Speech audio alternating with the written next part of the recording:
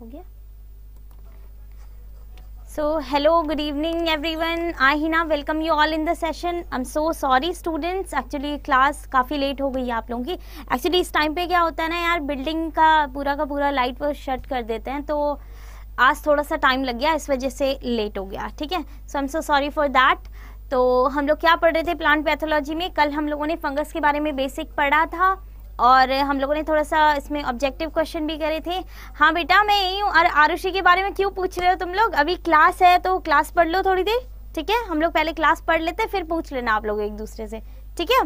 कौन से सेम में हो, कहाँ हो, ठीक है? तो बेटा, आज की क्लास में जो है, हम लोग फंगस के बारे में पढ़ेंगे। कल मैंने आप लोगों को थोड़ा सा बेसिक फंगस के बारे में बताया था, ठीक है? कि फंगस के थोड़े से नॉर्मल कैरेक्टरिस्टिक के बारे में हम लोगों ने पढ़ा था। आज हम लोग उसके क्लासिफिकेशन के बारे में पढ़ेंगे और कुछ फंगस के बारे में पढ़ेंगे जो आपके थोड़े से इंपॉर्टेंट फंगस है, उनके बारे में थोड़ा सा हम लोग आज डिटेल डिस्कशन करेंगे। और लास्ट में मैंने आप लोगों के लिए ऑब्जेक्टिव्स रखे हैं, वो अब जो डेली क्लास करता है, उसे पता चल ही जाएगा ओके तो एक दो ऑब्जेक्टिव भी मैंने रखे हैं, जो पढ़ के आया है डेफिनेटली वो बहुत अच्छे से ऑब्जेक्टिव करेगा। ओके सो हम लोग क्लास स्टार्ट करते हैं।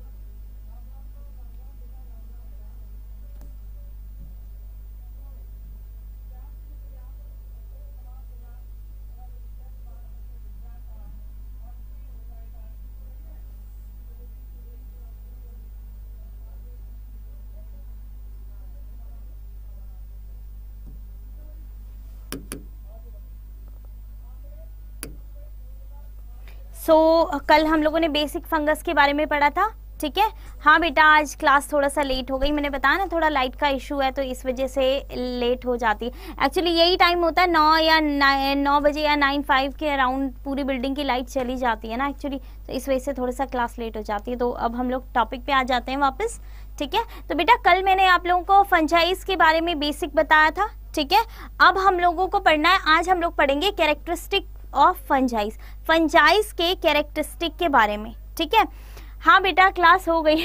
नहीं नहीं क्लास लेना नहीं भूली थी मैं यहीं पर थी मैं ओके तो आ, हम लोग कैरेक्टरिस्टिक के बारे में पढ़ लेते हैं। देखो बेटा जैसे कि मैंने आप लोग को बताया था कि फंगस हमारे किसमें आते हैं जो आप लोग का आ, पहले जिस टाइम पे क्लासिफिकेशन हो रहा था ये आप लोगों ने इलेवन ट्वेल्थ में भी पढ़ा होगा बायो के स्टूडेंट्स ने कि क्लासिफिकेशन जब हो रहा था तो उस टाइम पे दो किंगडम्स क्लासिफाई करे गए थे, ठीक है?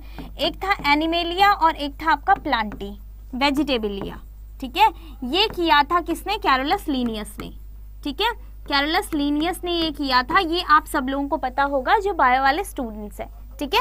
कैरोलस लीनियस ने किया था। इसके बाद जो ये आपका, इसके बाद काफ़ी सारे साइंटिस्ट ने कहा कि और भी तो ऑर्गेनिजम्स हैं, उनको कहाँ रखेंगे? है ना? और भी जो आपके फ्लाइंग जो आपके जैसे बर्ड्स होते हैं, उन्हें आप कहाँ रखोगे?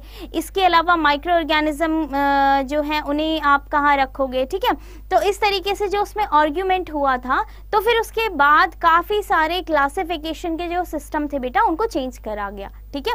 तो उसके अकॉर्डिंग टू ये two three system of classification five kingdom system of classification six kingdom system of classification इस तरीके से क्लासिफिकेशन सिस्टम को और ज़्यादा बढ़ा दिया, ठीक है? आशुतोष हाँ मैंने देख लिया दैट्स वेरी गुड आपने आज नाम बदल दिया अपना, ठीक है? तो बेटा आर एच विटेकर जो थे आर एच विटेकर ने दिया था आपका five kingdom system of classification okay R H Whittaker ने दिया था आपका five kingdom system of classification लेकिन इसमें भी इन्होंने क्या किया था कि फंजाई को अलग से नहीं बताया था।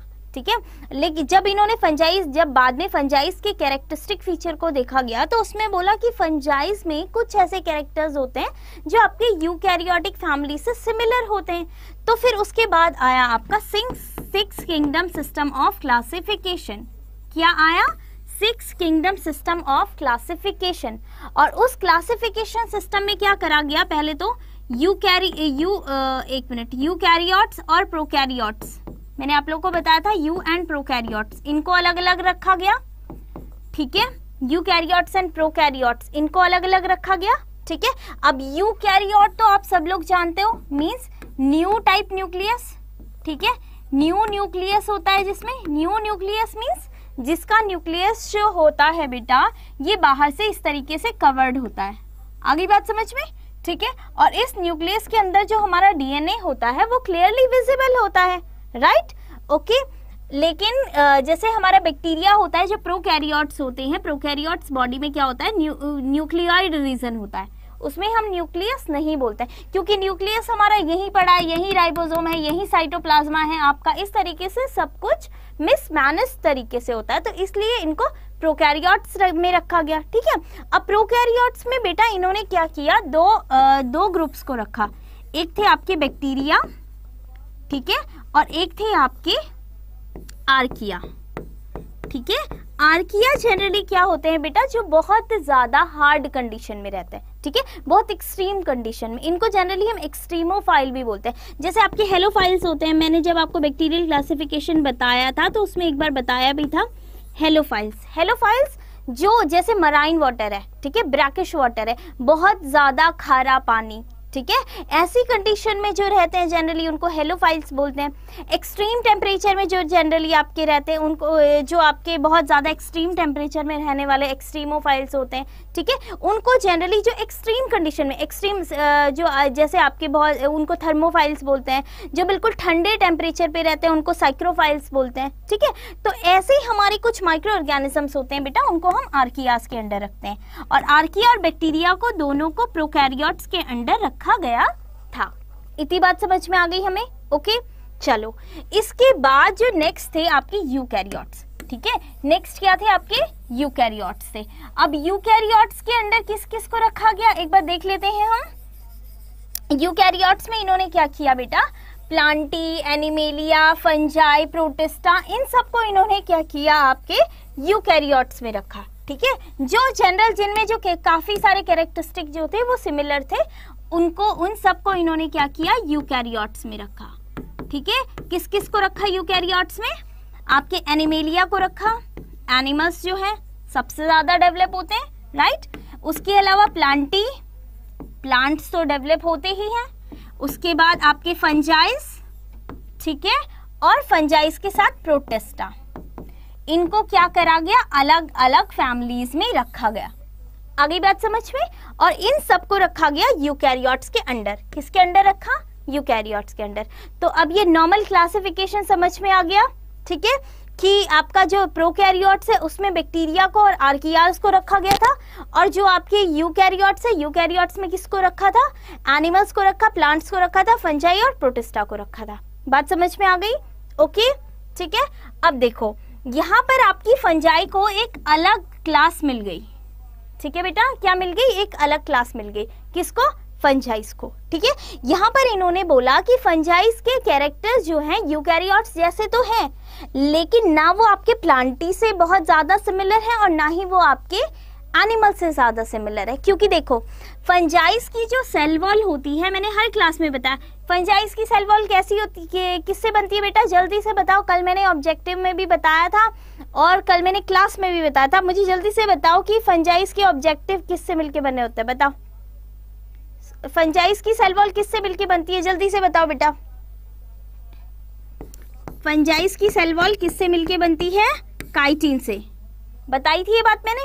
और जो आपके प्लांट्स होते हैं बेटा, प्लांट्स की सेल वॉल हमारी सेल्यूलोज से मिलके बनती है। किससे मिलके बनती है? सेल्यूलोज से। प्लांट की सेल वॉल सेल्यूलोज से मिलके बनती है। और एनिमल्स में तो सेल वॉल होती ही नहीं है। राइट? एनिमल सेल में तो सेल वॉल ही नहीं होती। प्लांट सेल में सेल वॉल होती है, लेकिन वो सेल वॉल सेलुलोज की बनी हुई होती है। और जो आपका फंजाई हो गया, उसमें तो काइटिन की सेल वॉल होती है। तो ये तो आपका डिसिमिलर हो गया, है ना? डिसिमिलर हो गया यहाँ पर, ठीक है? तो ऐसे ही काफ़ी सारे कैरेक्टर्स थे जो फंजाई में बिल्कुल डिफरेंट थे। अब देखो, जैसे प्लांट्स में क्या होता है, क्लोरोफिल प्रेजेंट होता है, ठीक है? हाँ बेटा, काइटिन काइटिन, सही सही बोल रहे हो, ठीक है? अब देखो, जैसे आपके एनिमल्स सॉरी जो आपके प्लांट्स है प्लांट्स में क्या होता है? क्लोरोफिल होता है, लेकिन क्या फंजाई में क्लोरोफिल होता है? नहीं होता। ये कैरेक्टर भी अलग हो गया, ठीक है? तो ऐसे काफ़ी सारे कैरेक्टर्स थे, जिनकी वजह से फंजाई को एक डिफरेंट क्लास में रखा गया। आगे बात समझ में? ठीक है? तो यहाँ पर फंजाई का जो क्लासिफिकेशन था, वो यू कैरियोट्स के अंडर तो करा गया, लेकिन उसको यू कैरियोट्स के अंडर एक अलग क्लास में रखा गया। इतनी बात हमें समझ में आ गई? ठीक है? चलो अब हम इसके कैरेक्टरिस्टिक पढ़ते हैं, क्योंकि अगर अब ये सब पढ़ने के बाद अगर हम इनके कैरेक्टरिस्टिक पढ़ेंगे तो हमें थोड़ा सा अच्छे से समझ में आएगा ओके चलो। अब कैरेक्टरिस्टिक फीचर में क्या बता रहा है बेटा कि इनकी जो बॉडी होती है जनरली वो फिलामेंटस होती है, ठीक है? फिलामेंटस होती है मींस ये देखो, ये ये दिखाई दे रहा है ये फंगस ठीक है? कौन सा फंगस है ये बताओ? कौन सा फंगस है बेटा ये? मशरूम ठीक है? ओके देखो तो मशरूम में क्या होता है बेटा? ये तो सबसे कॉमन फंगस है। अभी मैं ये भी बताऊँगी कि ये फंगस में कौन सी क्लास में आता है, ठीक है? कौन से टाइप में आता है ओके अब देखो बेटा, ये फंगस ये आपका जो फंगस है मशरूम इसकी बॉडी कैसी है? नीचे से देखो फिलामेंटस है। इस तरीके से फिलामेंटस है, ठीक है? तो देखो बेटा, यहाँ पर इनकी बॉडी क्या होती है? ट्यूब लाइक ट्यूब लाइक होती है। ट्यूब लाइक मीन्स फिलामेंटस होती है, ठीक है? तो इसलिए अब देखो, अगर सिंगल है तो उसको हम क्या बोलते हैं? हाइफ हाइफा बोलते हैं। ठीक है? सिंगल है तो उसको हम क्या बोलते हैं? हाइफा बोलते हैं। और हाइफी मीन्स प्लूरल ठीक है? अब देखो, जो हाइफा है वो क्या हो गया? हमारा सिंगल फिलामेंट हो गया। लेकिन ऐसे ही जब हमारे बहुत सारे हाइफी मिल जाते हैं आपस में तो इसको हम क्या बोलते हैं? माइसीलियम बोलते हैं। क्या बोलते हैं बेटा? माइसीलियम बोलते हैं। बात समझ में आ गई? ठीक है? अभी हम इसको क्या बोलते हैं? माइसीलियम बोलते हैं। कब? देखो सिंगल फिलामेंट है तो उसको हम क्या बोलेंगे? हाईफी बोलेंगे। क्या बोलेंगे बेटा? हाईफी बोलेंगे ओके लेकिन अगर हमारा ये बहुत सारे ग्रुप्स हैं, अगर हाईफी के तो उसको हम क्या बोलेंगे? माइसीलियम बोलेंगे ओके ठीक है? माइसीलियम एग्रीगेट ऑफ़ हाइफी तो हाइफी का एग्रीगेट मतलब बहुत सारे हाईफी मिलके क्या करेंगे? एक माइसीलियम को बनाएँगे, ठीक है? Then sclerotium hardened mass of mycelium that generally serve as overwintering stage. जब आपकी ओवरविंटरिंग uh, स्टेज आती है उस टाइम पे जो आपका हाइफी है जो आपका माइसीलियम है हाइफी का ग्रुप जो है माइसीलियम जो है उसके ऊपर से जो हार्ड लेयर होती है उसको हम क्या बोलते हैं हार्ड एंड मास जो होता है उसको हम बोलते हैं स्केलेरोशियम ठीक है? ये जनरली मल्टी सेल्यूलर होते हैं, जैसे आपके माइसीलियल कॉर्ड हो गए राइजोमॉर्फ हो गए और फ्रूटिंग बॉडीज हो गई, ठीक है? फ्रूटिंग बॉडीज जैसे आपकी मशरूम हो गई, ये भी क्या? फ्रूटिंग बॉडी है, ठीक है? देन ये क्या कह रहा है? सिम्बायोटिक अब सिम्बायोटिक सिम्बायोटिक से हमें कुछ याद आ रहा है, कुछ याद आ रहा है, क्या याद आ रहा है? हमने एक दिन पढ़ा था, कौन सी क्लास में पढ़ा था? हमने जब हम टर्मिनोलॉजी पढ़ रहे थे, है ना? तो टर्मिनोलॉजी की क्लास में हम लोगों ने पढ़ा था सिम्बायोसिस सिम्बायोसिस का मतलब क्या होता है बेटा? तो सिम्बायोसिस का मतलब होता है जहाँ पर कोई भी एक ऑर्गेनिज्म दूसरे ऑर्गेनिज्म के साथ में रहता है, लेकिन उसको क्या करता है? हार्म नहीं करता है। दोनों एक दूसरे को क्या करते हैं? बेनिफिट करते हैं। तो उस प्रोसेस को हम क्या बोलते हैं बेटा? अच्छा तुम लोग यहाँ पर बात नहीं करो, अभी यहाँ पर थोड़ी देर पढ़ लो, फिर उसके बाद आराम से बात कर लेना, ओके? ठीक है, अभी क्लास है, हम पहले पढ़ लेते हैं, ठीक है? देखो बेटा तो यहाँ पर क्या है, आपका जनरली सिम्बायोसिस में क्या होता है? जहाँ पर आपके दोनों ऑर्गेनिज्म जो है बेटा, दोनों ऑर्गेनिज्म एक दूसरे के साथ रहते हैं और एक दूसरे को बेनिफिट करते हैं, ओके? तो दैट इज़ कॉल्ड सिम्बायोसिस अब फंगस जो है, आपके कुछ ऐसे भी होते हैं जो सिम्बायट्स होते हैं। जैसे क्या होता है? माइक्रोराइजा माइक्रोराइजा फंगल एसोसिएशन ये क्या करता है बेटा? ये जिसके साथ रहता है, उसको उसको भी क्या करता है? बेनिफिट करता है, ठीक है? उस ट्री के साथ भी क्या क्या करता है? बेनिफिटेड रहता है। पैरासाइट कुछ ऐसे फंगस भी होते हैं हमारे, जो क्या करते हैं? दूसरों की बॉडी से न्यूट्रिशन लेते हैं। अब देखो, दोनों टाइप के फंगस होते हैं। जैसे मैंने बताया था सेप्रोफिटिक भी होते हैं फंगस और सेप्रोफिटिक का क्या मतलब होता है?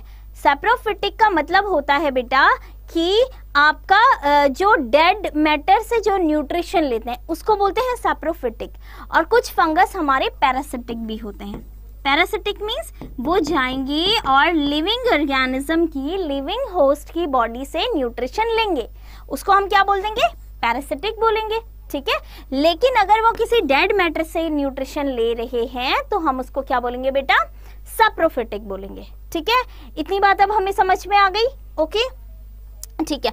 फ़ूड स्टोरेज इनकी बॉडी में कैसे होता है? तो लिपिड और ग्लाइकोजन के फॉर्म में होता है।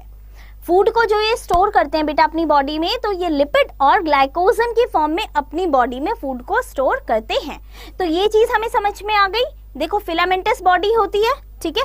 फिलामेंटस बॉडी होती है, बिल्कुल लंबी सी होती है, पतली सी इस तरीके से होती है। ठीक है? और फिलामेंटस बॉडी में जो आपका ये सिंगल फिलामेंट होता है, उसको हम हाइफी बोलते हैं। मास ऑफ़ हाइफी हमारा क्या होता है? माइसीलियम होता है, ठीक है? और माइसीलियम जो है आपका उसके ऊपर जो हार्डन लेयर होती है, तब हम उसको क्या बोलते हैं?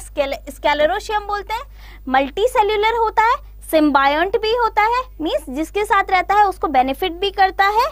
कुछ फंगस हमारे पैरासाइट क्या होते हैं? पैरासिटिक नेचर के भी होते हैं। और कुछ फंगस हमारे सप्रोफिटिक नेचर के भी होते हैं। और इनमें जो फ़ूड होता है, वो कैसा होता, किसके फॉर्म में होता है? लिपिड के फॉर्म में होता है, ठीक है? लिपिड एंड ग्लाइकोजन के फॉर्म में होता है, ठीक है? ये चीज़ हमें समझ में आ गई ओके दूसरी चीज़ ये क्या कह रहा है बेटा? तो जितने भी आपके फंगस होते हैं, उनको वाटर एंड ऑक्सीजन की ज़रूरत होती है। देखो, फंगस यहाँ पर भी आपका ग्रो करते हैं बेटा। तो जितने भी फंगस, ये अपना भोजन कैसे बनाते हैं मैम बेटा, ये अपना फ़ूड बनाते ही नहीं है। ये अपने, मैं बता तो रही हूँ। अभी देखो, तुमने ध्यान से नहीं सुना तो तुम्हें समझ में नहीं आया। मैंने क्या बोला? ये सैप्रोफिटिक होते हैं। सैप्रोफिटिक होते हैं या फिर पैरासिटिक होते हैं? पहली क्लास से बता रही हूँ सैप्रोफिटिक होते हैं पैरासिटिक होते हैं। सैप्रोफिटिक मीन्स डेड मैटर से अपना फ़ूड लेते हैं। जैसे कोई प्लांट है वो गिर गया मर के, ठीक है? तो उसकी बॉडी से इन्होंने न्यूट्रिशन लेना शुरू कर दिया। उसकी बॉडी को इन्होंने धीरे धीरे क्या कर दिया? डिकम्पोज उसको सड़ाना शुरू कर दिया। तो कैसे सड़ेगी? जब ये उससे क्या करेंगे? फ़ूड लेना शुरू करेंगे, ठीक है? तो उससे क्या होगा? धीरे धीरे बॉडी सड़ जाएगी। तो सेप्रोफिटिक भी हो गए पैरासिटिक जब किसी लिविंग की बॉडी से न्यूट्रिशन ले रहे हैं, ठीक है? जब किसी लिविंग की बॉडी से क्या कर रहे हैं? ये न्यूट्रिशन ले रहे हैं तो वहाँ पर क्या हो गया? पैरासिटिक ये हो गए। आ गई बात समझ में? तो अब समझ में आ गया अपना खाना कैसे बनाते हैं? दूसरे से लेते हैं। खुद का फ़ूड नहीं बनाते। मैंने पहले भी क्लास में बोला था और आज भी बोला है, क्या होता है? इनमें क्लोरोफिल नहीं होता है, इसलिए ये अपना फ़ूड नहीं बनाते। ठीक है? ओके अब देखो all fungi require water and oxygen no obligate anaerobes देखो क्योंकि इन्हें अपने इन्हें फ़ूड के इन्हें अपने लिए क्या होता है? वाटर की ज़रूरत भी होती है और ऑक्सीजन विदाउट ऑक्सीजन और वाटर फंगस सर्वाइव नहीं करता. तो ये किसी भी एनारोबिक कंडीशन में नहीं रहता. ये बात हमें समझ में आ गई? चलो. दूसरी चीज़ क्या कह रहा है? Fungi grow in almost every habitat देखो इन्वायरमेंट में जितने भी हैबिटेट होते हैं बेटा, चाहे वो मॉइस्ट कंडीशन हो ड्राई कंडीशन हो, कैसी भी कंडीशन हो, हर कंडीशन में फंचाई जो है आपका वो सर्वाइव करता है अनटिल एंड अनलेस की आपकी कोई बहुत एक्सट्रीम कंडीशन ना आ जाए इन्वायरमेंट में। आगे बात समझ में? जब तक कि इन्वायरमेंट में बहुत कोई हार्ड कंडीशन नहीं आ जाती है, तब तक कोई भी आपका फंजाई है, वो किसी भी कंडीशन में सरवाइव कर सकता है। अगर कोई बहुत ही एडवर्स कंडीशन आ गई तो इन दैट केस तब फंजाई जो है, वहाँ पर सरवाइव नहीं कर सकता।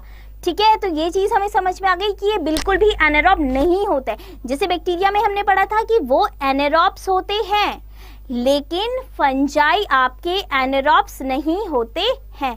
आ गई बात समझ में? क्यों एनेरॉब्स नहीं होते हैं? क्योंकि फंजाइस को किसकी ज़रूरत होती है? फंज, आपके फंजाइज को वाटर की भी ज़रूरत होती है और ऑक्सीजन की भी ज़रूरत होती है ओके ठीक है? और ये जनरली हर टाइप की कंडीशन में आपका ग्रो कर जाते हैं एक्सट्रीम कंडीशन को छोड़ के, ठीक है? चलो, अब हम नेक्स्ट देख लेते हैं।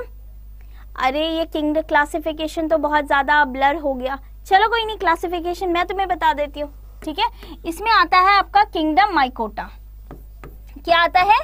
किंगडम माइकोटा जो मैं लिख रही हूँ, वो तो समझ में आ रहा है ना? किंगडम माइकोटा ठीक है? ये जनरल क्लासिफिकेशन में आपको बता रही हूँ बेटा।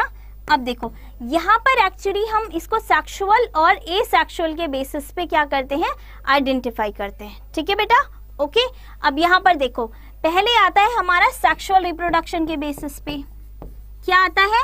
सेक्सुअल रिप्रोडक्शन के बेसिस पे। और दूसरा आता है हमारा ए सेक्सुअल रिप्रोडक्शन के बेसिस पे। आ गई बात समझ में? ठीक है, दोनों चीज़ें समझ में आ गई। एक आता है हमारा सेक्सुअल रिप्रोडक्शन के बेसिस पे।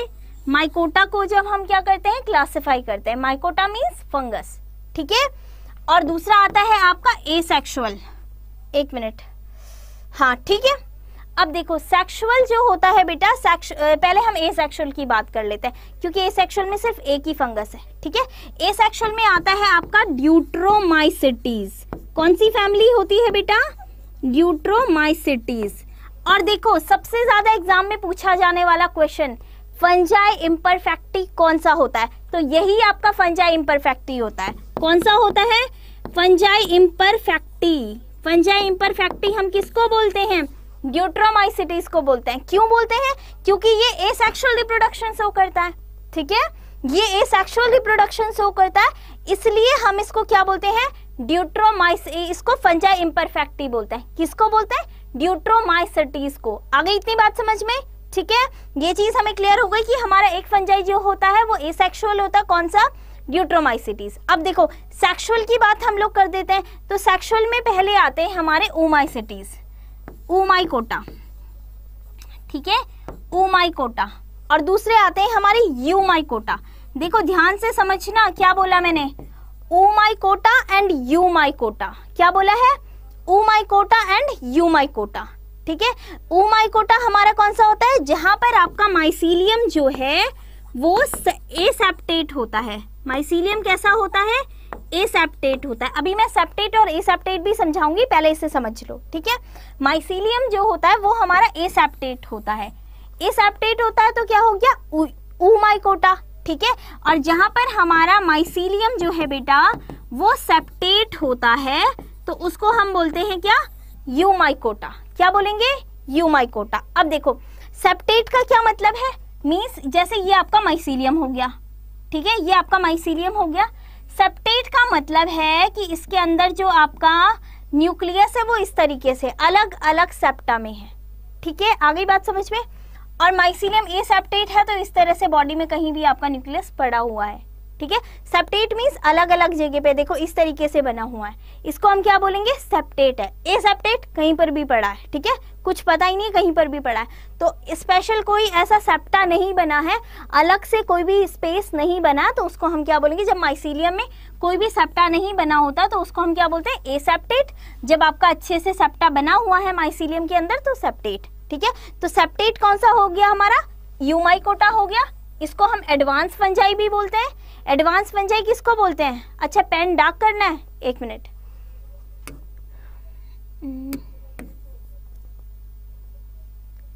अभी दिख रहा है? You my Kota. यू माई कोटा, एक मिनट, मैं यहीं से लिख के बता देती हूँ। यू माई अच्छा ब्लैक दिख रहा है? बेटा, जल्दी से बताओ, ब्लैक कलर दिख रहा है? एक मिनट, पहले मैं लिख के बता देती हूँ। ब्लैक दिख रहा है, ब्लैक कलर? जल्दी से बताओ, ब्लैक कलर दिख रहा है? जल्दी से टाइप करो। बेटा, जल्दी से टाइप करो ब्लैक कलर शो हो रहा है या नहीं हो रहा है, फिर मैं चेंज करूँगी नहीं तो।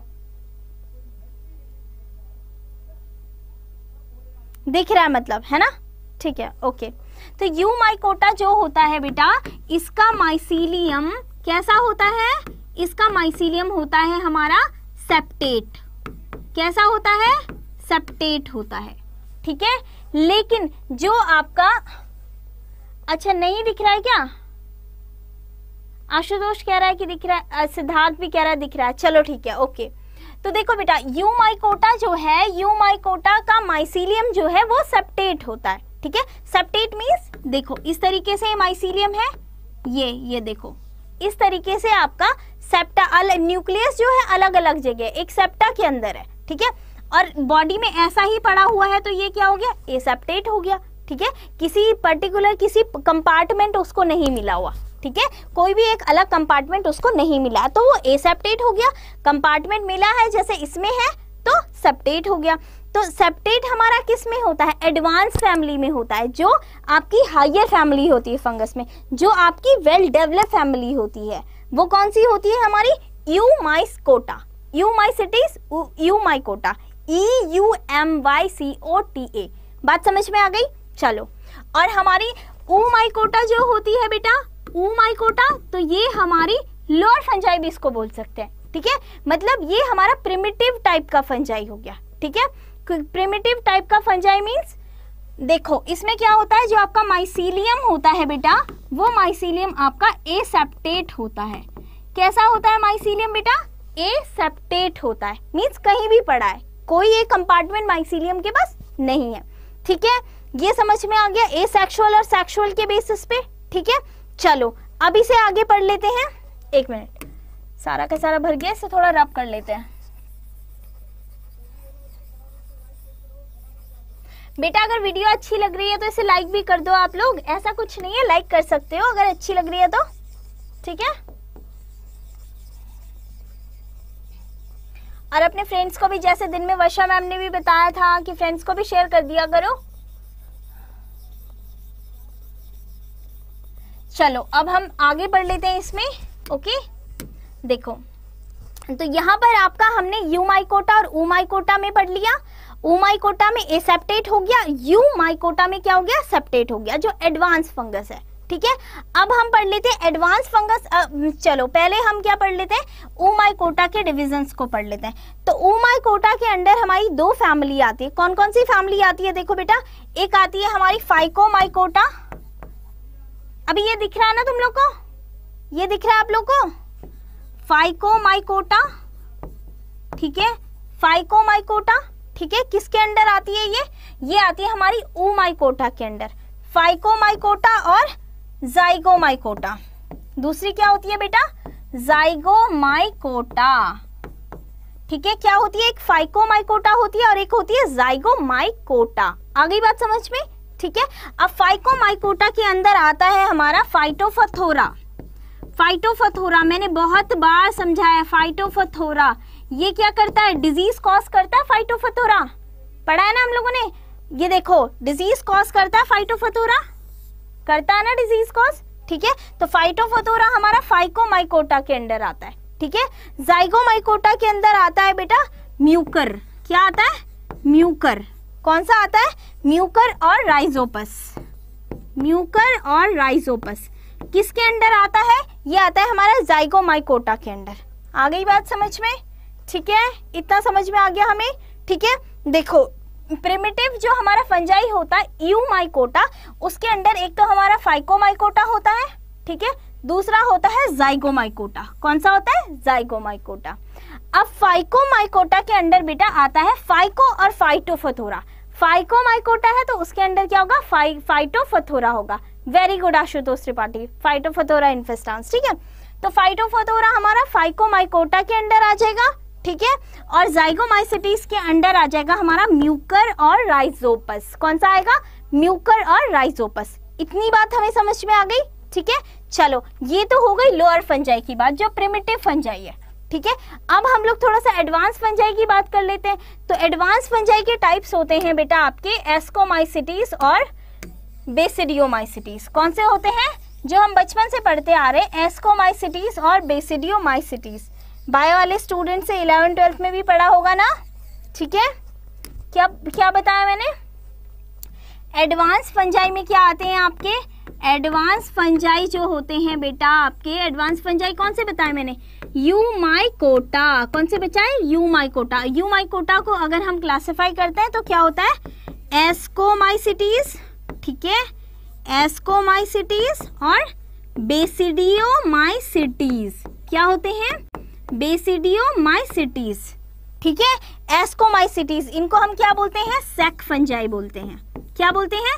सेक फंजाई और क्यों बोलते हैं? ये भी मैं अभी बताऊँगी। ठीक है? एस्कोमाइसिटीज को हम क्या बोलते हैं? सेक कई बार एग्ज़ाम में क्या करता है? वो सेक फंजाई पूछता है। सेक फंजाई की फैमिली क्या होती है सेक फंजाई कहाँ बिलोंग करता है?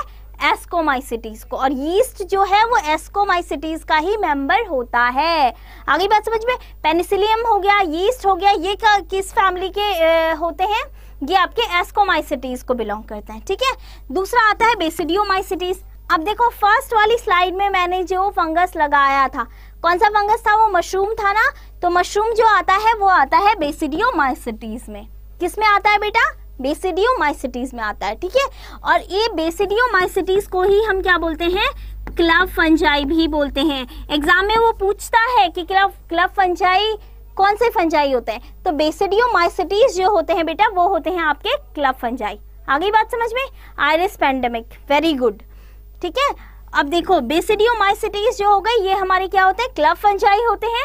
लेकिन हमारे एस्कोमाइसिटीज जो होते हैं, ये सेक फंजाई होते हैं और ये आते हैं आपकी एडवांस फैमिली यू माइकोटा के डिवीज़न में। इतनी बात हमें समझ में आ गई? नॉर्मल क्लासिफिकेशन ऑफ़ फंगस हमें समझ में आ गया? ठीक है ओके चलो अब हम आगे पढ़ते हैं। थोड़ा सा हम इन फंगस के बारे में भी पढ़ लेंगे।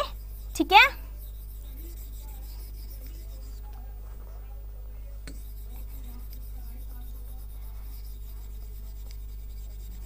चलो, अब हम पहले एस्कोमाइसिटीज के बारे में पढ़ लेते हैं।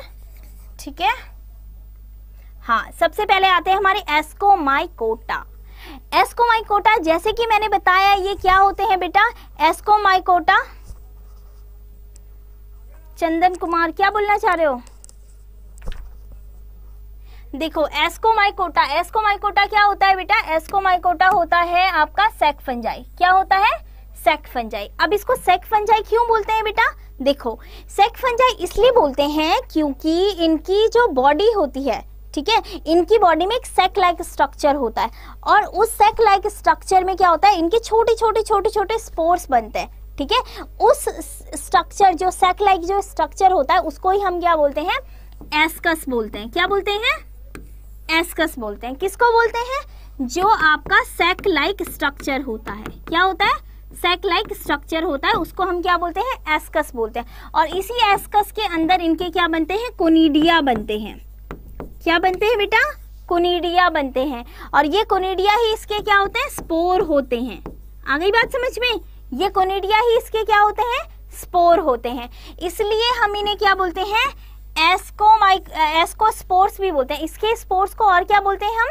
एस्को स्पोर्स भी बोलते हैं। बात समझ में आ गई?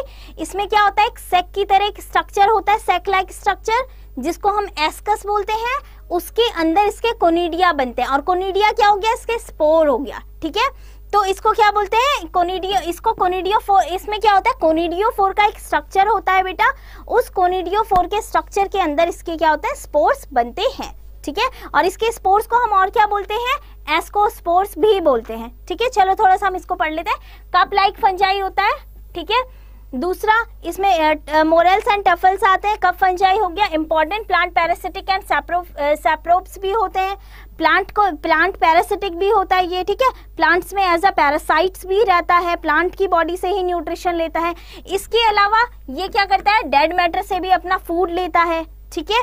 इसके अलावा यीस्ट इसमें एक एग्जांपल है। अब देखो बेटा, सबसे ज़्यादा इंपॉर्टेंट चीज़ एस्कोमाइसिटीज जो होते हैं बेटा, इनकी बॉडी में जो रिप्रोडक्शन होता है, वो आपका एसेक्सुअल रिप्रोडक्शन होता है। ठीक है? कुछ में सेक्सुअल रिप्रोडक्शन भी होता है। अभी मैं बताऊँगी कि किसमें होता है और कैसे होता है। ठीक है? जनरली इसकी बॉडी में ए सेक्सुअल रिप्रोडक्शन होता है। अगली बात समझ में? अब देखो ए एसेक्सुअल रिप्रोडक्शन से हमें एक चीज़ समझ में आ गई। इसका मतलब ये अपनी बॉडी से ही क्या करता है? नए ऑर्गेनिज्म को बनाता है ना?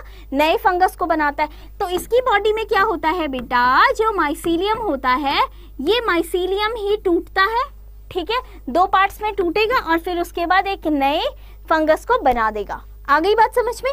अब देखो सेक्सुअल रिप्रोडक्शन ये तो हमने ए सेक्सुअल रिप्रोडक्शन की बात कर दी। तो फ्रेगमेंटेशन ठीक है? फ्रेगमेंटेशन मैंने बैक्टीरिया में भी बताया था। उसी की बॉडी है। बीच से टूट गई और फिर उसके बाद दो अलग अलग पूरी बॉडीज बना दी। फ्रेगमेंटेशन बताया था, ठीक है? वैसा ही फ्रेगमेंटेशन सेम इसके माइसीलियम में भी होता है। बीच से टूटेगा और फिर उसके बाद दो नए नए फंगस को बना देगा। ये सेक्सुअल रिप्रोडक्शन हो गया, ठीक है? लेकिन इसमें सेक्सुअल रिप्रोडक्शन में क्या होता है बेटा? देखो सेक्सुअल रिप्रोडक्शन में इसमें कॉन्जुगेशन भी होता है। अब कॉन्जुगेशन भी मैंने तुम लोगों को बताया होगा, अगर याद होगा तो। जब मैं बैक्टीरियल रिप्रोडक्शन पढ़ा रही थी, उस टाइम पे मैंने कॉन्जुगेशन बहुत अच्छे से समझाया था। कि आप लोगों ने बहुत अच्छे से पढ़ा था? तो कॉन्जुगेशन में क्या होता है? हमारा एक ट्यूब बनती है, एक ट्यूब बनती है। और उस ट्यूब के थ्रू क्या होता है? एक का डीएनए दूसरे की बॉडी में जाता है। तो यहाँ से क्या होता है? माइसीलियम में ट्यूब फॉर्मेशन होता है और उसके थ्रू क्या होता है? एक के एक का न्यूक्लियस दूसरे की बॉडी में जाता है और फिर वहाँ से क्या करता है? सेक्सुअल रिप्रोडक्शन करता है। अब देखो सेक्सुअल रिप्रोडक्शन इसमें होता है यीस्ट की बॉडी में। सेकेरोमाइसिस सेरेविसी यीस्ट की बॉडी में क्या होता है? सेक्सुअल रिप्रोडक्शन होता है। कॉन्जुगेशन जो आप पढ़ते हो सेक्सुअल रिप्रोडक्शन का कौन सा टाइप कॉन्जुगेशन आ गई बात समझ में? ये रिप्रोडक्शन जो होता है एस्कोमाइसिटीज के कौन सी कौन से ऑर्गेनिज्म में होता है? यीस्ट में होता है। बात समझ में आ गई? ओके चलो। डिकम्पोजर होते हैं पैथोजन होते हैं और इसमें मोस्टली जो आ, मिलते हैं वो आपके लाइकेंस हो। ये मोस्टली आपके लाइकेंस में मिलता है ठीक है? Mostly found in lichens okay देखो डिकम्पोजर्स uh, जनरली जो आपके डेड मैटर से अपना न्यूट्रिशन लेते हैं तो डिकम्पोजर हो गए ठीक है? उसको धीरे धीरे खत्म कर देते हैं। बेटा नोट्स आप लोगों को टेलीग्राम में मिल जाएँगे संदीप सर सेंड कर देंगे सब लोगों को ठीक है? ओके नोट्स की टेंशन मत लो अभी इसको अच्छे से समझ लो। अच्छे से समझ में आ जाएगा तो फिर उसके बाद कोई दिक्कत नहीं नोट्स तुम लोग को यार संडे तक मिल जाएँगे ओके टेंशन मत लो ओके पैथोजेंस भी होते हैं ये, दूसरों की बॉडी से न्यूट्रिशन लेते हैं, उसको खत्म कर देते हैं, ठीक है? और mostly found in found in most lichens lichens most lichens में ये मिलते हैं। आगे बात समझ में? हमने एस्को एस्को माइकोटा पढ़ लिया। अब आएँगे हम बेसिडियो माइकोटा में। अब देखो बेटा, जैसे मैंने बताया कि एस्को स्पोर्ट्स में क्या होता है जनरली आपका ए सेक्शुअल रिप्रोडक्शन होता है। इसमें क्या होता है? सेक्सुअल रिप्रोडक्शन होता है। क्या होता है इसमें? सेक्सुअल रिप्रोडक्शन होता है, ठीक है? चलो, पहले हम बेसिक पढ़ लेते हैं, फिर सेक्सुअल रिप्रोडक्शन पढ़ेंगे, ठीक है? इनमें, देखो सेक्सुअल रिप्रोडक्शन होता है बेसिडिया में, ठीक है? अब देखो जो आपके बेस जैसे हम एस्कोस्पोर को सॉरी एस्कोमाइकोटा को क्या बोलते हैं हम? सेक फंजाई बोलते हैं, वैसे ही इनको हम क्या बोलते हैं? क्लब फंजाई बोलते हैं, ठीक है? हाँ एक चीज़ और जो आपके एस्कोमाइसिटीज होते हैं बेटा या एस्कोमाइकोटा फैमिली को बिलोंग करते हैं जितने भी फंजाइज वो जनरली आपको वॉल्स पे मिलते हैं ठीक है? कहीं भी मॉइस्ट वॉल होती है ना वहाँ पर आ, वहाँ पर जनरली जो मिलते हैं हमारे वो आपके एस्कोमाइकोटा होते हैं ठीक है? कहीं भी जैसे नमी होती है जहाँ पर दीवार में ज़्यादा वहाँ पर जनरली मॉइस्ट वॉल में जनरली आपके मिल जाते हैं ओके बट जैसे आपके बेसिडियो माइकोटा हो गए तो आप लोगों ने देखा होगा, ऐसे फंगस जनरली जैसे पेड़ की छाल पे मिलते हैं, है ना? मशरूम देखोगे, कहीं पे पेड़ की मॉइस्ट जहाँ पे छाल होगी, वहाँ पर मिल जाएँगे पौधे के तने वने में स्टेम वगैरह वाले पोर्शन में वहाँ पर मिल जाते हैं ओके बात समझ में आ गई? अब देखो, ये जनरली हमारे क्लब फंजाइज होते हैं, ठीक है? क्लब फंजाइज होते हैं, अब देखो बेटा, इनकी बॉडी कैसी होती है? देखो, ये स्ट्रक्चर आप लोगों को दिख रहा है, इस तरीके से, ठीक है? यहाँ से आप लोग को ये स्ट्रक्चर दिखाई दे रहा है, इसमें क्लियरली दिख रहा है। तो ये वाला जो पोर्शन होता है बेटा एम्ब्रेला की तरह, इस तरह से यहाँ पर क्या होता है? इस तरीके से स्ट्रक्चर बना होता है इसका। यहाँ पर चलो मैं बता देती हूँ। देखो।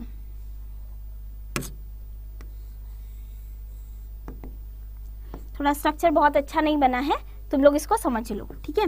इस तरीके से और ऐसे करके इस तरीके से बना होता है पूरा। इस तरीके से बना होता है ना? तो ये वाले पार्ट को गिल्स बोलते हैं। क्या बोलते हैं बेटा? गिल्स बोलते हैं। और यहाँ पर ही इसके स्पोर्स प्रेजेंट होते हैं। कहाँ पर होते हैं? यहाँ पर इसके बेसिडिया में इसके स्पोर्स जनरली क्या होते हैं बेटा? प्रेजेंट होते हैं। आगे इतनी बात समझ में? ठीक है? इतना क्लियर हो गया सबको कि इसके स्पोर्स कहाँ पर प्रेजेंट होते हैं? ठीक है? तो इसके स्पोर्स जो है बेटा जनरली वो आपके यहाँ पर प्रेजेंट होते हैं। ठीक है? अब देखो, एक चीज़ मैं आप लोगों को बेसिडियोमाइसिटीज के बारे में बता देती हूँ बेटा। बेसिडियोमाइसिटीज एक्चुअली दो टाइप के होते हैं, ठीक है?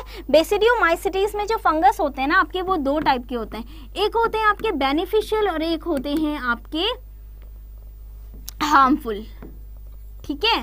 एक होते हैं बेनिफिशियल फंगस और एक होते हैं हार्मफुल फंगस ठीक है? बेनिफिशियल फंगस कौन से होते हैं? जैसे मशरूम क्या होते हैं? जैसे मशरूम ठीक है? मशरूम क्या हो गया? आपका बेनिफिशियल फंगस में आ गया। लेकिन जैसे आपका स्मट हो गया स्मट फंजाई जो हो गया, ये क्या होता है? हार्मफुल होता है डिज़ीज़ कॉज करता है, ठीक है? तो स्मट क्या आ गया? हार्मफुल में आ गया। तो ये जनरली स्मट हो गया, ये भी इसी फैमिली को बिलोंग करता है, और मशरूम जो हो गया, वो भी आपका इसी फैमिली को बिलोंग करता है। इतनी बात हमें समझ में आ गई, ठीक है? ये चीज़ हमें समझ में आ गई, ओके।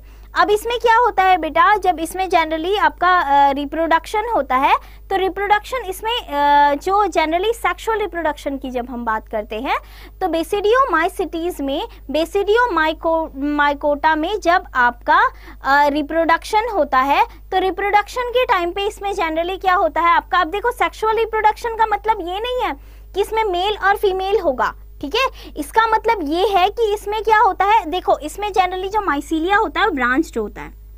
ठीक है? ब्रांच्ड होता है मतलब कैसे? इस तरीके से। इस तरीके से यहाँ पर भी बनेगा, यहाँ पर भी बनेगा। ठीक है? ऐसा ब्रांच्ड माइसीलिया होता है, ठीक है? और यहाँ पर इस तरीके से इसमें क्या होते हैं? ये सेप्टम इसमें सेप्टा बने हुए होते हैं। ठीक है? इस तरीके से इसमें क्या होते हैं बेटा? सेप्टा बने हुए होते हैं। आ गई बात समझ में? ठीक है? इस तरीके से सेप्टा बने हुए होते हैं इसमें। ठीक है ब्रांच्ड माइसीलियम होता है और सेप्टा बने हुए होते हैं ठीक है? तो इसमें क्या होता है देखो सिंगल सिंगल आप लोगों को न्यूक्लियस दिखाई दे रहा है हर एक सेप्टा में ठीक है? यहाँ पर देखो एक से ए, एक है यहाँ पर एक है यहाँ पर एक है इस तरीके से हर एक सेप्टा में एक एक क्या है सिंगल सिंगल न्यूक्लियस रखा हुआ है ठीक है? अब देखो यहाँ पर क्या होता है बेटा? Sexual during the process of sexual reproduction यहाँ पर आपका एक मिनट क्या हो गया ऐसे?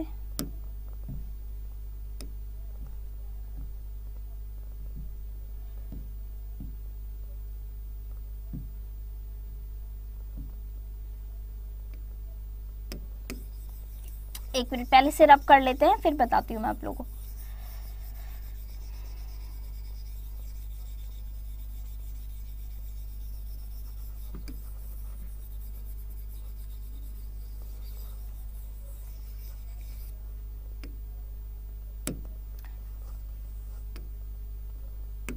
देखो बेटा, अब सेक्सुअल रिप्रोडक्शन के टाइम पे यहाँ पर क्या होता है कि एक जो माइसीलिया है, ठीक है, एक माइसीलिया क्या करता है देखो सेक्सुअल रिप्रोडक्शन का बैक्टीरिया में भी मैंने क्या बताया था कि बैक्टीरिया की बॉडी में भी एज सच कोई मेल या फीमेल नहीं होता। वैसे ही इसकी बॉडी में भी कोई मेल या फीमेल नहीं होता, ठीक है? कोई, देखो यहाँ पर एक माइसीलिया है, ठीक है? ये एक माइसीलिया है, ओके? इसने क्या किया? दूसरे माइसीलिया को ठीक है? इसने अपने ये अपने ये एक माइसीलिया हो गया या फिर एक ये माइसीलिया हो गया, एक ये माइसीलिया हो गया, ठीक है? ये देखो, चलो अलग अलग से बता देते ये दोनों अलग अलग माइसीलिया है, ठीक है? अब इन, ये एक एक को हमने मेल कंसीडर कर दिया, एक को फीमेल कंसीडर कर दिया, ठीक है? अब देखो, इन दोनों में फ्यूजन हुआ, ठीक है? फ्यूजन हुआ तो फीमेल वाले ने क्या किया? दोनों माइसीलिया ले लिए। सॉरी दो ये क्या करेगा? इससे न्यूक्लियस ले लेगा? ठीक है? इसने क्या किया? इससे भी न्यूक्लियस ले लिया। अब ये पहले क्या था? हेप्लॉइड था। हेप्लॉइड क्यों था? इसकी बॉडी में सिर्फ़ एक ही न्यूक्लियस था। और ये भी हेप्लॉइड था। बात आई समझ में? पहले ये भी हेप्लॉइड था और ये भी हेप्लॉइड था। क्योंकि दोनों की बॉडी में एक एक न्यूक्लियस था। ठीक है? अब क्या हुआ? जब इन दोनों का फ्यूजन हुआ तो फ्यूजन में क्या किया इन्होंने? इसमें दो ए, फीमेल ने क्या किया? उस मेल का न्यूक्लियस भी ले लिया। ठीक है? तो अब ये क्या हो गया? डिप्लॉयड हो गया। क्या हो गया बेटा? डिप्लॉयड हो गया। ठीक है? अब देखो, जब ये दोनों न्यूक्लियस आपस में फ्यूज करेंगे तो इस प्रोसेस को हम क्या बोलेंगे? कैरियोगेमी क्या बोलेंगे? कैरियोगेमी यहाँ पर कैरियोगेमी हो जाएगी, ठीक है? दोनों के न्यूक्लियस फ्यूज कर जाएँगे, और जब दोनों के न्यूक्लियस फ्यूज कर जाएँगे, तब होगी इसमें मियोसिस क्या होगी बेटा? मियोसिस और मियोसिस में क्या बन जाएँगे आपके? मियोसिस में क्या होते हैं? चार बनते हैं। कुछ भी आपका सेल डिवीज़न होगा, चार अलग अलग सेल बन जाते हैं ना? ठीक है, यहाँ पे समझ लो इसको। मियोसिस में क्या होता है? चार सेल बनते हैं अलग अलग यहाँ पर क्या हुआ? दोनों ने मिलके इसमें कैरियोगेमी हुई और फिर उसके बाद उसने क्या किया? मियोसिस करी। मियोसिस में उसका डिवीज़न हुआ। चार अलग अलग अलग अलग क्या बन गए हमारे पास? स्पोर बन गए। ठीक है? और ये स्पोर आपके कहा चले जाएँगे? गिल्स में अलग अलग अलग अलग जगह पे चले जाएँगे। आगे बात समझ में? और इन स्पोर्स को अब हम क्या बोलेंगे? बेसिडियो स्पोर बोलेंगे। क्या बोलेंगे बेटा? बेसिडियो स्पोर बोलेंगे। ठीक है? आगे बात समझ में? अब इन स्पोर्स को हम क्या बोलेंगे? बेसिडियो स्पोर्स बोलेंगे। आगे बात समझ में तो ये जनरली इसका क्या होता है? रिप्रोडक्शन सिस्टम होता है। किसमें? बेसिडियोमाइसिटीज में। ठीक है? डिप्लॉइड क्यों होते हैं? क्योंकि हेप्लॉइड हेप्लॉइड मिलता है। दोनों फीमेल क्या करती है? मेल की बॉडी का न्यूक्लियस भी ले लेगी और फिर क्या हो जाएगा? डिप्लॉइड हो जाएगी। दोनों मिलेंगे तो दोनों मिलने के बाद क्या होगा उसमें? दोनों न्यूक्लियस जब मिलेंगे तो फिर उसके बाद उसमें माइटो ये मियोसिस होगी। मियोसिस में क्या होगा आपके? चार सेल बन जाते हैं ना? तो चारों सेल बन गए, चारों स्पोर बन गए। और ये स्पोर, अब ये स्पोर क्या कहलाएँगे? हमारे बेसिडियो स्पोर कहलाएँगे। आगे बात समझ में? ये था हमारा जनरल रिप्रोडक्शन किसका? बेसिडियो माइसिटीज का, ठीक है? तो ये सब चीज़ें मैंने आप लोगों को समझा दी हैं, ठीक है? इसके एग्ज़ाम्पल में मशरूम आता है puff ball boletes bird nest fungi ये सब इसमें आते हैं। हाँ ये सबसे आपका खतरनाक फंजाई तब होता है बेटा, जब ये आपके क्या करता है? वुड्स को खत्म कर देता है, ठीक है? अब देखो, जंगल बनने में तो बहुत टाइम लगता है ना, ये पूरे जंगल को ही खत्म कर देता है। आप लोगों ने देखा होगा जो मशरूम है जनरली वो किसी भी पेड़ पे आ जाता है। किसी भी किसी भी पौधे पे अपनी ग्रोथ कर लेता है, ठीक है? किसी भी पौधे पे क्या करता है? ग्रो कर जाता है। कौन सा? मशरूम, ठीक है?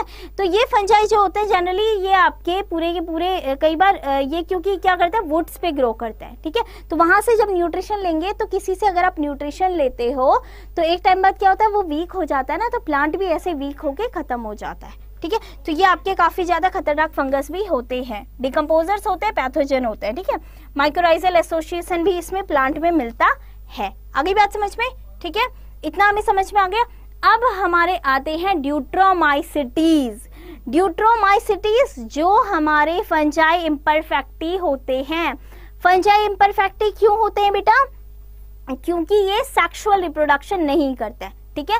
तो fungi imperfecti fungi that never reproduce sexually क्योंकि ये कभी भी सेक्सुअल रिप्रोडक्शन नहीं करते हैं, ठीक है? Asexual reproduction by vegetative growth and production and asexual spores are common इसमें जनरली क्या बनते हैं आपके? Asexual asexual spores ही बनते हैं। मैम आप ऑफलाइन क्लास भी करते हैं? नहीं बेटा, मैं ऑफलाइन क्लास नहीं करती हूँ। अब ऑनलाइन क्लास में ही तुम लोग को पढ़ा देती हूँ तो ऑफलाइन की क्या ज़रूरत है? ठीक है? Okay okay. तो देखो बेटा, यहाँ पर जनरली आपके जो स्पोर्ट्स हैं, ये एसेक्सुअल स्पोर्ट्स को बनाता है क्योंकि इसमें एसेक्सुअल रिप्रोडक्शन होता है। आगे बात समझ में? अब एसेक्सुअल रिप्रोडक्शन की वजह से एसेक्सुअल स्पोर की वजह से इस फंजाई को क्या बोला जाता है? फंजाई इम्परफेक्टी बोला जाता है, जो आपके ड्यूट्रोमाइसिटीज फैमिली को बिलोंग करते हैं। ये समझ में आ गया? ठीक है? इतना हमें क्लियर हो गया? अब भाई तुम लोग जल्दी से मुझे ऑब्जेक्टिव्स बता दो। अब हम लोग ऑब्जेक्टिव्स पे आ गए जो हमारी लास्ट स्लाइड थी, ठीक है? बेटा, आप लोग मुझे बताओ फादर ऑफ़ फाइटोपैथोलॉजी कौन है? जल्दी से बताओ फादर ऑफ़ फाइटोपैथोलॉजी कौन है? जल्दी बताओ। जितने बच्चे हैं, सारे आंसर चाहिए मुझे। जल्दी से बताओ फादर ऑफ़ फाइटोपैथोलॉजी कौन है? यार, ये मैं तुम्हें बता भी चुकी हूँ, तुमसे इवन दो ये क्वेश्चन मैंने पूछा भी था। बताओ जल्दी फाइटोपैथोलॉजी फादर ऑफ़ फाइटोपैथोलॉजी कौन है?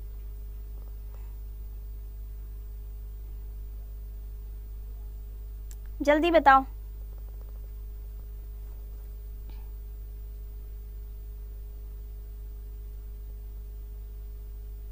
मैम, हमें डिस्कशन विद करना है टॉपिक पे। कोई बात नहीं बेटा, आप लोग मुझे कमेंट पे लिख के डाल दो कि इस टॉपिक पे आप लोगों को डिस्कशन करना है। आई विल डेफिनेटली मैं उन लोगों, उस टॉपिक को आप लोगों को समझा दूँगी नो इशू ओके ठीक है?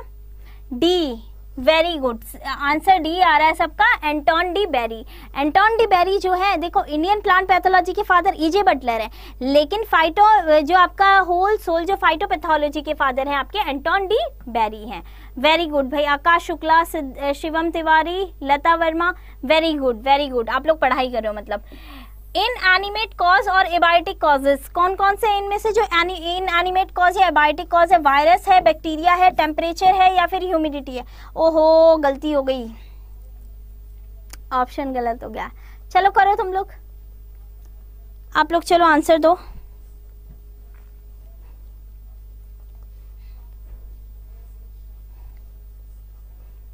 जल्दी आंसर करो। भाई, जितने बच्चे हैं, सारे बच्चे आंसर नहीं कर रहे हैं। सारे बच्चे आंसर करो बेटा।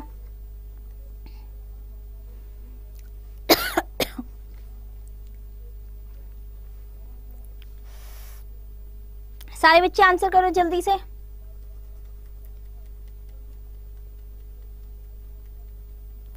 C and D all Ashutosh Tripathi all all कैसे हो जाएगा?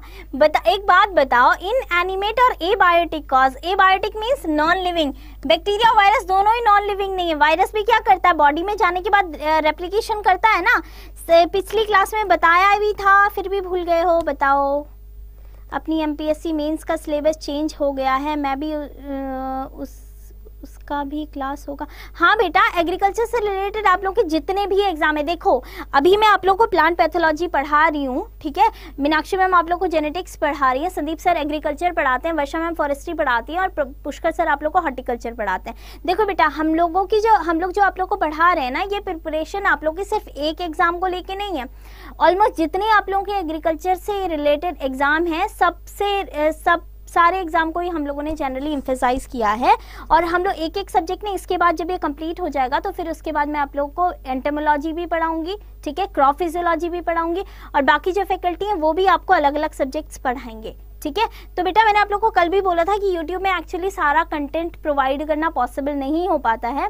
तो आप लोग चाहो तो फाउंडेशन बैच पे जो ये मेरा कोड है Y double four seven A इसको लगा के आप लोग परचेस कर सकते हो। एग्रीकल्चर फाउंडेशन वाला कोर्स जो है आप लोगों का ठीक है? क्योंकि इस कोड पे आप लोग को ये डिस्काउंट मिल जाएगा ठीक है? अगर आप लोग इस कोड को यूज़ करोगे ये मेरा कोड है तो इसमें आप लोगों को डिस्काउंट मिल जाएगा और वहाँ पर आप लोग को सारी क्लासेस ऑलमोस्ट अवेलेबल हो जाएँगी ठीक है? हाँ वेरी गुड आकाश शुक्ला ये लता वर्मा सिद्धार्थ सही बोला है सी आ, सी और डी दोनों ऑप्शन होगा। एक्चुअली गलती से वो मैंने शायद दोनों ही डाल दिए टेम्परेचर और ह्यूमिडिटी ये दोनों ही फैक्टर आपके क्या होते हैं? ए बायोटिक फैक्टर होते हैं ओके चलो ठीक है। बेटा, ये आपका एग्रीकल्चर फाउंडेशन का कोर्स है, ठीक है? तो इस कोर्स में आप लोग इनरोल कर सकते हो, ठीक है? और जैसे मैंने बताया वाई डबल फोर सेवन ये मेरा कोड है। इसको अप्लाई अगर आप लोग करोगे तो आप लोग को डिस्काउंट भी मिल जाएगा। ठीक है? तो अगर आप लोग अपनी प्रिपरेशन और बेटर तरीके से करना चाहते हैं तो इसमें इनरोल कर सकते हैं ओके और हाँ जैसे वर्षा मैम ने बताया कि राजस्थान ये जेई का जो फॉर्म आया है, उसमें जितने भी बच्चे बेटा प्रिपरेशन कर रहे हैं तो अब आप लोग की उसी के सिलेबस के अकॉर्डिंग ही आप लोगों की क्लासेज अब स्टार्ट हो जाएँगी बहुत जल्दी। ठीक है, और जैसे वर्षा मैम ने कहा कि आप लोग के लिए एक सरप्राइज़ भी है तो आप लोग चैनल को सब्सक्राइब कर लीजिएगा agriculture Adda twenty four seven, क्योंकि उसी बच्चे को सरप्राइज़ देखने को मिलेगा जो, जिसने उसमें इनरोल कर रखा है, जो already agriculture Adda twenty four seven ये आपके चैनल को सब्सक्राइब किया हुआ है, ठीक है? इसलिए चैनल को सब्सक्राइब कर दो और क्लासेस को लाइक और शेयर तो कर ही दिया करो यार, इतना तो एटलीस्ट बनता है है ना? ठीक है? चलो फिर मिलते हैं कल की क्लास में, okay? Thank you. Bye bye.